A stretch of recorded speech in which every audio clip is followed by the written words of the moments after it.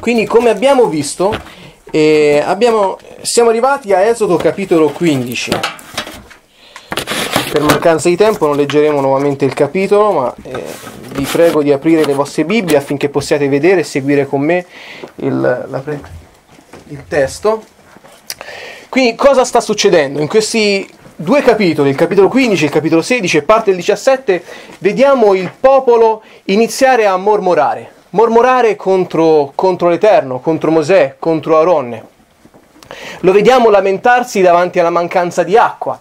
Arrivarono ad una sorgente mara nel quale l'acqua era amara e cominciarono fin da subito a mormorare, a lamentarsi. Cosa berremo Mosè? Arrivarono nel deserto dove il, il cibo scarseggiava e anche lì cominciarono a ricordare il passato, eh, il cibo che c'era in Egitto, la carne, i pentoloni di carne. E anche in quel momento si lamentarono, mormorarono contro l'Eterno. E così anche a Massa e Meriba, un'altra sorgente d'acqua, nuovamente avevano bisogno di acqua.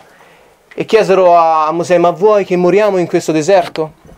Quindi il popolo di Israele in questi due capitoli ci è mostrato come un popolo lagnoso, che si lamentava, che mormorava. E l'Eterno agire in queste circostanze in un modo ben specifico per il cuore del popolo di Israele. Erano passati appena tre giorni da uno dei miracoli più grandi che la storia dell'uomo abbia mai visto. Israele, davanti al Mar Rosso, vede Mosè piantare il suo bastone nell'acqua e l'acqua aprirsi e creare due grandi muri e il popolo di Israele passare all'asciutto attraverso, questo, attraverso il Mar Rosso. Il popolo d'Egitto che stava attaccando, che stava inseguendo il popolo di Israele, si trova poi sommerso dal Mar Rosso. Qualcosa di straordinario.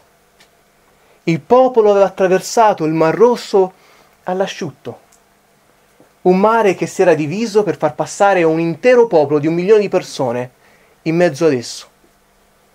È vero, Avevano passato tre giorni di deserto, un lungo cammino, un cammino arduo, c'era tanto caldo, avevano sofferto l'arsura,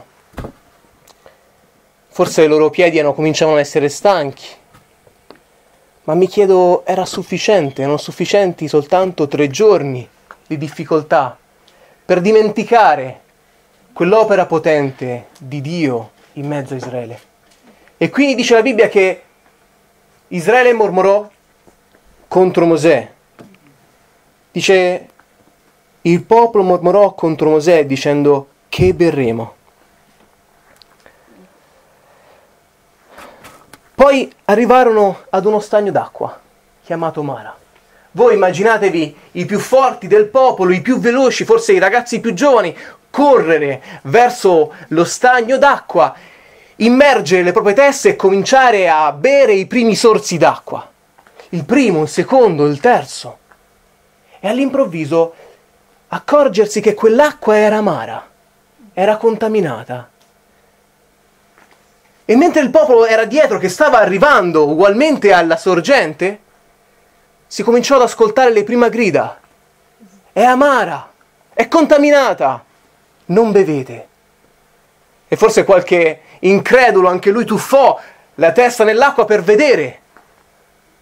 Al primo sorso, al secondo sorso, ma è possibile che quest'acqua sia amara? Mara significa letteralmente amarezza. E mi sono chiesto perché l'Eterno dopo tre, tre giorni di, di arsura, di deserto, di mancanza d'acqua, li porta ad una sorgente amara. E ho pensato al fatto che L'Eterno li portò lì perché Israele aveva un problema da risolvere. Quello stagno non era, sem- era semplicemente che uno specchio dell'amarezza di Israele. Immaginatevi un popolo che per 400 anni aveva subito abusi, soprusi, schiavitù, circostanze difficili e in tutto questo il loro cuore era diventato amaro, un cuore insoddisfatto, un cuore pessimista, un cuore incredulo nella potenza e nell'amore di Dio. Vedi Israele? Questo è il tuo problema. questa è l'amarezza che affligge il tuo cuore. E tre giorni bastarono per dimenticare una liberazione straordinaria. Perché un cuore pieno di amarezza non può riconoscere l'amore di Dio. Sapete, quel popolo, seppur libero dalla schiavitù fisica, era ancora schiavo. Schiavo delle loro amarezze, schiavo delle loro ferite, schiavo della loro incredulità. E l'Eterno non poteva permettere che quel popolo continuasse ad essere schiavo di questa amarezza. L'Eterno voleva gridare libertà, voleva gridare guarigione. Ed era lì, a presentare davanti al volto di Israele che c'era un problema nel profondo del loro cuore da risolvere. E infatti un cuore che è amareggiato comincia a concentrare su se stesso tutti i suoi problemi, le sue difficoltà e non riesce a vedere oltre se stesso. E un cuore amareggiato presto mormora, comincia a mormorare, comincia a lamentarsi. E spesso quando nella nostra vita cominciamo a mormorare, a lamentarci del nostro stato sociale, della nostra situazione di difficoltà o a mormorare contro l'Eterno, è perché ancora c'è, cari miei, una radice di amarezza nel nostro cuore. E il popolo mormorò contro Mosè dicendo, cosa berremo? Avevano perso ogni speranza e non c'è peggior condizione di un cuore ferito, di un cuore amareggiato, di un cuore che non sa perdonare, perché non può ricevere l'amore di Dio. E l'Eterno li pone davanti a questa scelta, vedi Israele? C'è l'acqua, l'acqua di amarezza l'acqua falsa e ingannevole, l'acqua contaminata. Ed è la vostra acqua, è la vostra acqua di amarezza. È ciò, Israele, che è nel tuo cuore. E spesso nei nostri cuori c'è quest'acqua di amarezza che si è creata nel tempo, che si è creata attraverso difficoltà che abbiamo passato. E spesso ho trovato credenti, in modo triste, e persone, alimentarsi di questa amarezza, quella sorgente, quelle ferite, a volte quell'odio, a volte quel cuore che non sa perdonare, comincia a essere un alimento per noi. E cominciamo a leccare le nostre ferite e cominciamo a guardare, ad essere introspettivi, pensando che la guarigione provenga da noi stessi e non lasciamo e non riusciamo a lasciare che qualcuno, che l'Eterno ci guarisca. E Gesù e l'Eterno dimostra anche un'altra sorgente. Vedi Israele, la mia sorgente di vita è una sorgente, è un'acqua che disseta è un'acqua dolce che può rendere quell'amaro che è nel tuo cuore qualcosa di dolce, qualcosa di piacevole.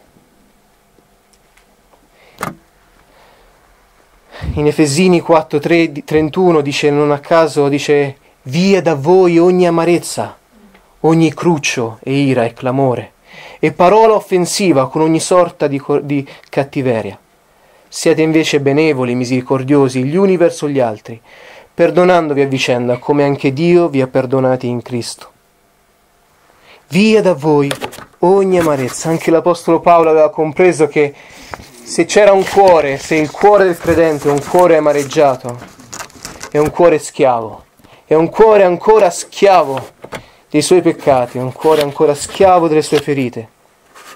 E sono convinto e ho visto per esperienza che molti di noi, che molti sono stati feriti nelle loro vite. E forse tu questa mattina, pensando a te stesso, ti accorgi che hai subito delle ferite, che forse sei stato tradito, forse sei stato deluso da coloro che amavi. Credo che molti di noi forse sono carichi di offese subite, cuori ancora schiavi di amarezza, cuori amareggiati, cuori induriti, che non amano più come prima, perché siamo stati feriti. E molte volte non ci soffermiamo a guardare quello che c'è nel profondo del nostro cuore. No, ma io sono forte, ma io posso andare avanti da solo. No, non mi hai fatto del male, no, no, non, non mi ha causato alcun problema. No, non mi ha deluso mio padre, non mi ha deluso il mio amico, non mi ha deluso mia moglie o mio marito. E andiamo avanti, portandoci dietro queste ferite nel nostro cuore. Ma queste ferite. Fanno di noi un cuore amaro, rendono quel cuore contaminato. E quell'acqua pian piano diventa putrida, comincia fino, a, fino a che comincia a puzzare. Forse la morte di un padre, un divorzio, il tradimento di un amico, o una malattia, la malattia di una persona che amiamo, una, un abuso, un'offesa subita, ci hanno ferito il cuore a tal punto da condizionare il nostro presente e non riusciamo più a perdonare quelle persone. Si è così indurito il nostro cuore che non riusciamo più a perdonare, che non, lasciamo, non riusciamo più a lasciare ogni peso nelle mani di Dio. Non riusciamo più a perdonare noi stessi, o forse a perdonare Dio per aver permesso alcune cose che ancora non capiamo. e questo ci ha reso insensibili alla voce e all'amore di Dio. Ma sapete, quel giorno l'Eterno disse a Israele, se tu ascolti attentamente la voce del Signore, che è il tuo Dio, e fai ciò che è giusto agli occhi suoi, porgi orecchio ai suoi comandamenti e osservi tutte le sue leggi, io non ti affliggerò nessuna delle infermità che ho afflitte agli egiziani, perché io sono il Signore, colui che ti guarisce. Io sono Geova Rafa. E questo è uno dei nomi dell'Eterno. Io sono colui che ti guarisce. Davanti alla sua amarezza l'Eterno disse a Israele, io so quanta durezza c'è nel tuo cuore, io so quanto ti hanno offeso e ferito, ma io sono colui che ti guarisce. Io sono colui che può portare guarigione nel profondo del tuo cuore. E io ho la convinzione che oggi il nostro Signore Gesù è vivente ed abita nei nostri cuori e vuole guarirci da ogni ferita che, che forse le persone che amiamo ci hanno causato. Vuole renderci liberi dal fardello che forse per anni ci siamo portati dietro quell'offesa subita che non abbiamo perdonato. Però dobbiamo permettere all'Eterno di guarirci. Dobbiamo confessare la nostra amarezza.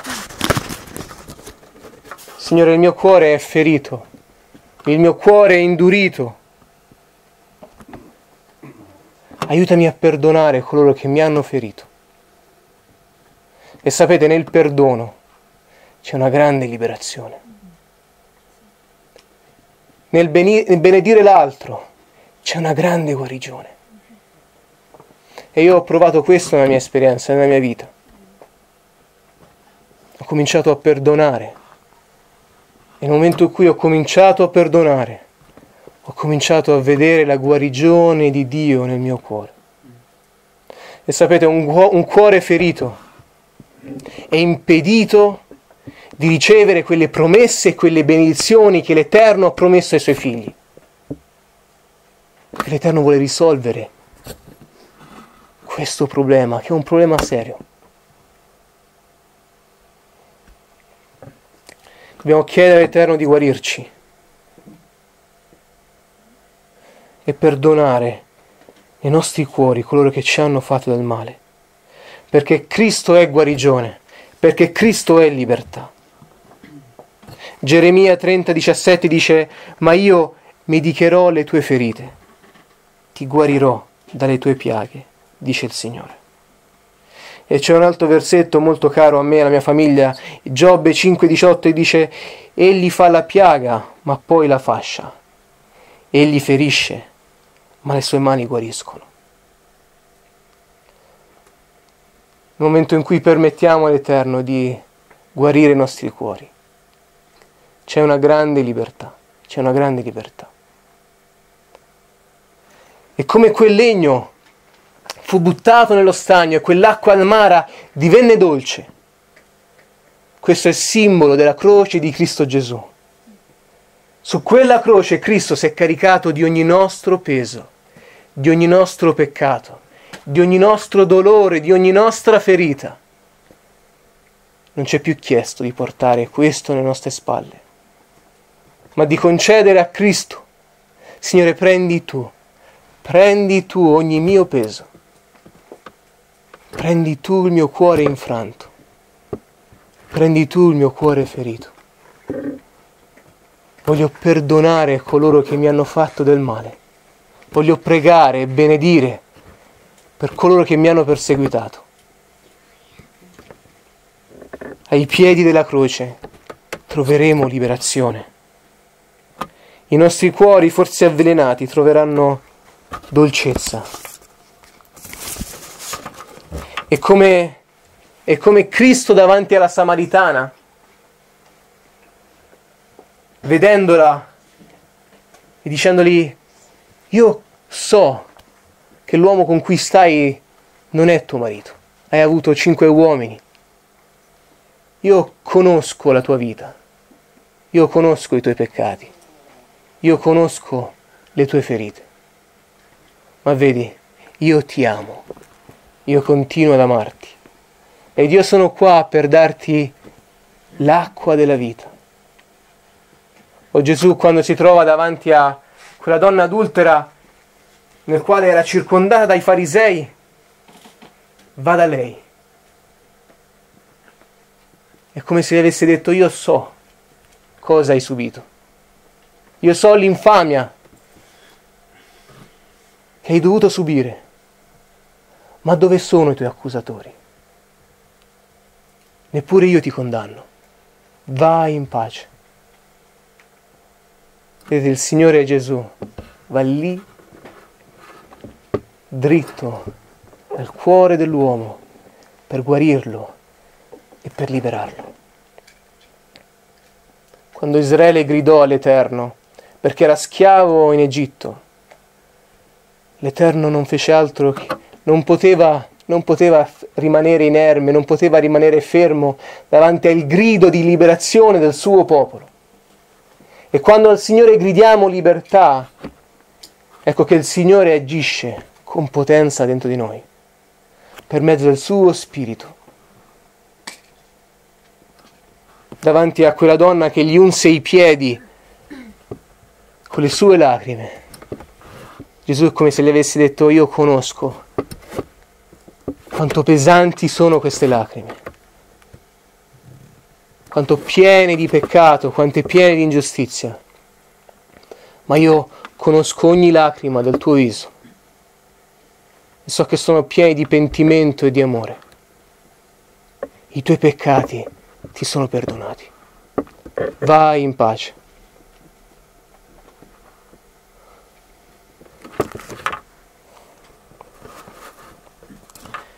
E sapete, vi racconto un, un'esperienza personale. Questo, questo passo mi ha, mi ha, portato a ricordare una mia esperienza. Sono rimasti sette minuti. E, Mila è una, è, mi conosce da quando ero ragazzo e sa che eh, ho avuto anch'io delle mie ferite. Avevo 22 anni. Nella mia esperienza avevo visto mia sorella ammalarsi di una malattia molto rara e, e si viveva in casa con... Eh, areggiava in casa questo pericolo che Caterina da un momento all'altro dovesse morire. E poi vivevo come adolescente in una condizione in cui mio padre e mia madre erano sempre presi da questo problema, una malattia rara, i primi casi in Italia, E quindi tante dell'attenzione è normale che vanno in quel figlio che ha bisogno. In più avevamo due bambini in affidamento, più c'era una chiesa a portare avanti, un lavoro, un ristorante. E a volte Giacomo era trascurato. E tutto questo a volte creava delle ferite nel mio cuore. Vidi nacquere la chiesa di mio padre e fin da subito a 18 anni iniziai a lavorare, a servire. Ma tanti amici che avevo amato intensamente, che erano parte della mia famiglia, poi tradirono quell'amore. Il mio pastore, una persona che avevo eh, considerato per me come un padre, a un certo punto eh, non lo vidi più, non era più presente nella comunità. E in quel momento in cui ero adolescente, eh, chi si prese cura di me in modo particolare fu mio nonno, che poi dopo alcuni anni morì. Mi insegnò a guidare, mi insegnò tante cose e questo cuore era continuamente soggetto a ferite. Fino a quando a 22 anni scoprì una malattia anch'io autoimmune come mia sorella. E questo non fece altro che incrementare delle ferite dentro di me. Divenni duro, duro. E non riuscivo più a amare, non riuscivo più a perdonare. Continuavo a amare la Chiesa, continuavo a servire, ma con un animo indurito. E un giorno mia sorella mi presentò una foto come questa, di me sorridente, e mi disse spero di rivedere un giorno quel sorriso che per tanti anni ti ha caratterizzato. A quel punto scappai dall'Italia, me ne andai in Inghilterra e dopo due mesi a casa di, di un pastore eh, il Signore mi spinse ad andare ad una conferenza e eravamo 3.000-4.000 ma quel giorno il Signore parlò diritto al mio cuore. È come se il predicatore era lì soltanto per me.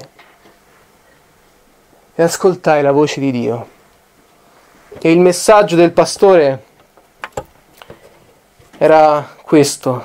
Ama come se tu non fossi mai stato ferito. Mi colpì come una freccia nel cuore e dissi, Signore, io non amo più così. Il mio cuore è diventato duro e compresi per la prima volta che c'era qualcosa che si era rotto. Signore, non voglio essere nuovamente ferito. Ero lì che parlavo con il Signore ed ero in, in lacrime. Signore, io non voglio tornare dove c'è dolore. È stato sufficiente il dolore che ho subito. E il Signore mi disse un'altra cosa. Lascia il tuo cuore, forse in mille pezzi, ma nelle mie mani d'amore. Io me ne prenderò cura. E quel, quel giorno dissi, Signore, prendi il mio cuore. Prendi il mio cuore tra le tue mani e guarisci. E sapete, quel giorno fu una grande liberazione nel mio cuore. Ci fu una grande libertà e cominciai a perdonare quelle persone che mi avevano ferito. Forse tradimenti, forse ingiustizie, forse malattie. E a pregare per loro. Il Signore mi disse ora è tempo di tornare a casa. Ripresi la macchina, riguidai altri 1800 km, arrivai a, a Siena mio padre mi chiese di portare un messaggio la domenica dopo e fu questo il messaggio che portai con questa frase. E dopo la predicazione chiesi perdono ad ognuno che era presente in sala, perché non li avevo amati come se non fossi mai stato ferito. E chiesi perdono ad ogni persona. E fu una grande liberazione. Il Signore non vuole che siate schiavi, che siamo schiavi delle nostre ferite, che siamo schiavi del nostro cuore che non riesce a perdonare.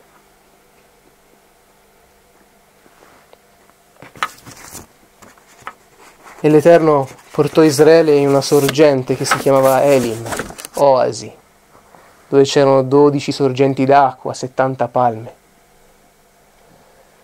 Quando concediamo al Signore, liberiamo, apriamo le nostre mani, lasciamo ogni peso alla sua croce, il Signore ci porta in un posto che si chiama Elim, in un posto dove c'è la sorgente della vita, dove c'è il cuore di Cristo Gesù, dove c'è l'amore di Dio,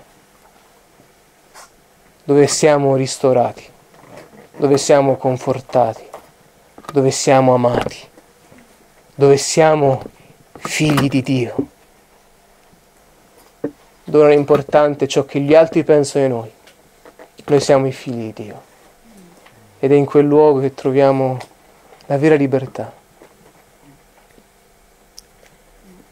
Che veramente il Signore possa operare nel nostro cuore.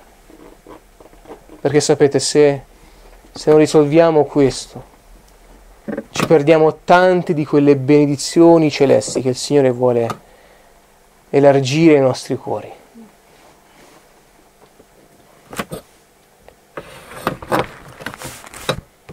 Possiamo chiudere i nostri occhi e stare alla presenza di Dio.